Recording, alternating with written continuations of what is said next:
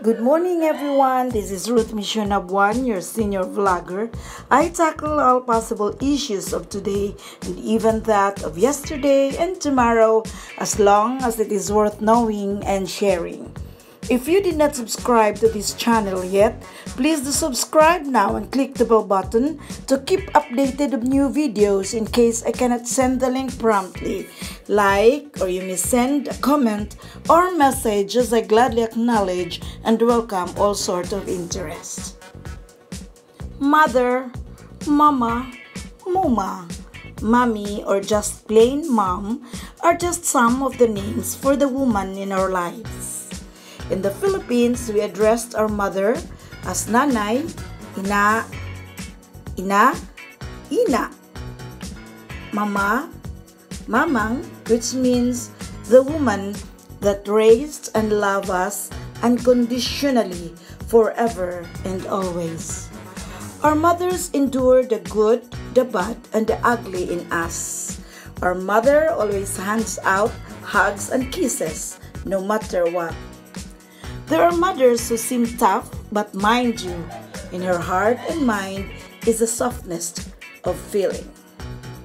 They can be the mother who has given birth and has the responsibility to take care of their children. Yet, more than a responsibility is the feeling that no one can explain towards her children. In her heart and mind, children comes first. She always wanted her children to grow up to be happy, healthy, and successful adults. Mothers always pay attention to her children's particular nature and responds to the specific needs of each child. Only a mother can accept a child for who he is and could forgive even the greatest mistake.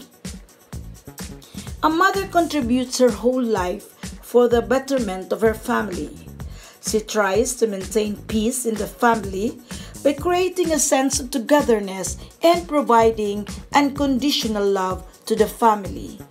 A mother provides life, support, care, and affection, especially on the growing children. Do you know that mothers are one of the first indication of the sovereignty of God in our lives? Mothers teach us to have confidence and believe in ourselves. Mothers knew from experience how important for people to believe in themselves in order for children to be whole, strong, and grow with a healthy outlook to oneself. The Holy Bible consistently asks us to honor and love our mothers. Example is seen in Exodus 20, verse 12 that says, Honor thy father and mother. And in Leviticus 19, verse 3, Every one of you shall revere his mother and his father. Today is Mother's Day. Happy, happy Mother's Day to all our moms, the most special and important person in every child. A mother is a friend, a parent, guide, and teacher. She takes care of the entire family and turns a house into a beautiful home. She brings up her children with utmost care, compassion, and love. Illuminates every home with her presence, smile, and laughter.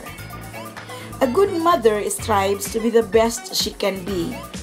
Along her journey of motherhood, she makes mistakes.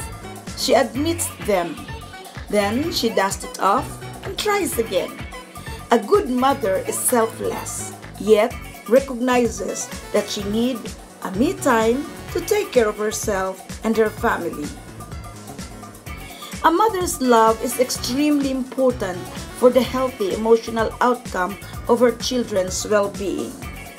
In most cases, it is the mom who is the primary caregiver and how she loves her children greatly affects their lives. Happy Mother's Day to all mothers out there. May God bless us with extra strength to continually love and take care of our children endlessly. This has been Ruth Mission Abuan, your senior vlogger, a friend, and a proud mother of three.